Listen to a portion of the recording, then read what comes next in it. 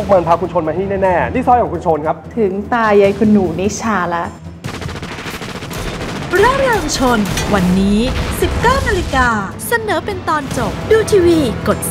33 ดูมือถือกด3 plus